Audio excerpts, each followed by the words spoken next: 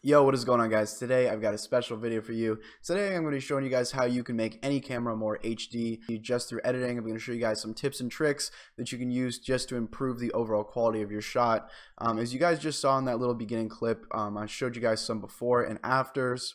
You can just see the difference in the quality in the before and after. Um, so what I'm going to do in this video is show you a quick little tutorial you can do in Premiere. If you are an After Effects user, you can follow the same exact steps I'm doing in After Effects.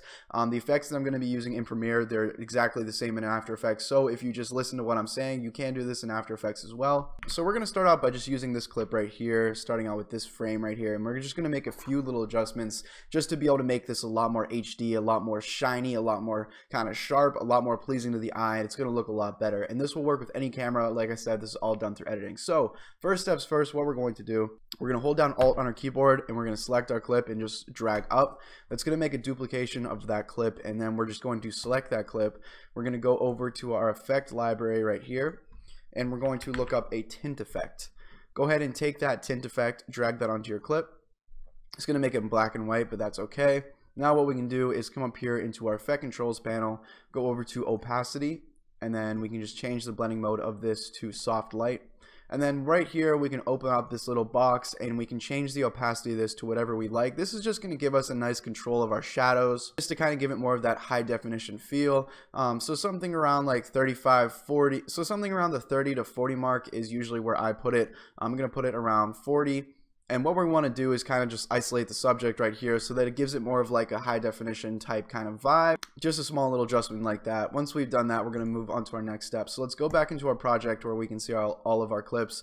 And then now what we're going to do is we're going to go up to File, we're going to click New, and we're going to click adjustment layer. So like I said, make sure you're in your project bin for the adjustment layer to show up or it'll be grayed out. Click OK. It's going to show up in your project right here.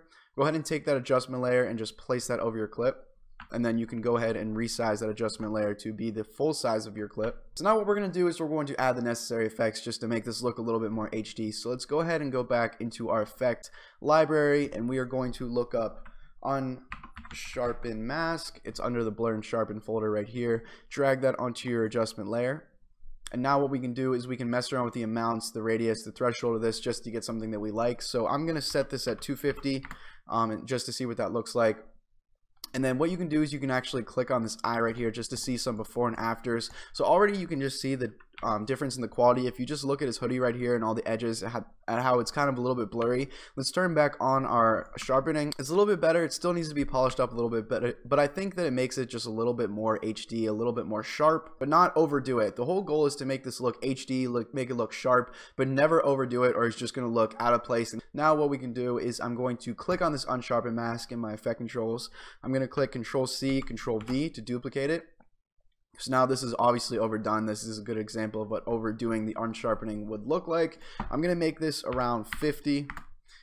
Um, and then I'm going to make the radius of this 0.5. And that's just going to get the outer edges and it's just going to kind of complete that sharpened look. Um, so here's another look at the before and afters. I'll turn it off and on just so you guys can see the difference. Even with the background like the graffiti makes it a little bit more sharp. So now we're going to add one more step into this. What we're going to do is we're going to go back into our project bin and we are going to go to file new adjustment layer again. We're going to click OK. We're going to drag that second adjustment layer over top of all this and we're going to resize it like that. Then we're going to click on our second adjustment layer and we're going to actually add another unsharpened mask, but this time we're actually going to do something different. So drag that unsharpened mask onto adjustment layer, make it around 50 this time as well uh, maybe even something like 75 to 100. You can mess around with this really. this time what we're going to do is we're going to open up the opacity tab and we're going to change the blending mode of this to lighten.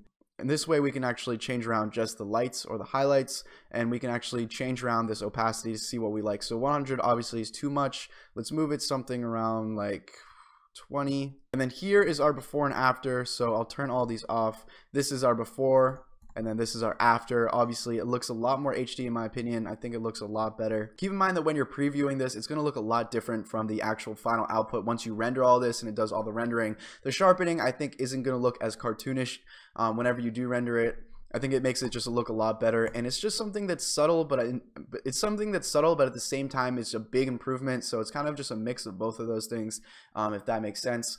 Anyways, guys, so you can finish this all off by just going in and adding a LUT or color grading, however you usually do, on the very last clip to be able to get that color and that is going to go in and change all the colors and get that look that you really like. And you can just and if you full screen it you can just really see the full detail. Um, any last tip I could really give you guys is if you want to remove some of this digital grain depending on how much light you have in the shot this is kind of a darker shot so some of the blacks are going to have some of that grain if you actually have After Effects, what you can do is you can actually bring this clip into After Effects and you can use the remove grain effect just to kind of polish it up. But like I said, it all just depends on your clip, but that is an option for you guys to do if you want to get rid of some of that grain that will result um, if you have a darker shot and you're adding all of those unsharpened masks onto your shot. Anyways, guys, if you want to see more videos like this, hit that subscribe button, leave a like if you enjoy the content. It helps the growth of this channel so much. Anyways, guys, thank you for watching the video, and I'll see you guys later.